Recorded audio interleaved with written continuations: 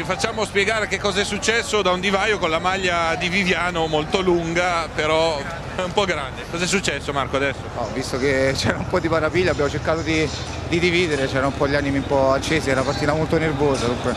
Però dai, l'importante è che abbiamo vinto l'importante è che abbiamo fatto una, una grande partita e abbiamo portato a casa il risultato fondamentale. I soliti, dico io, due gol di Divaio più il gol, eh, il primo in Italia di Ramirez che valgono 28 punti in classifica. Sono 28, no? Sì, sul campo sono 28, purtroppo ce ne abbiamo di meno, però dai, l'importante è che oggi era fondamentale vincere.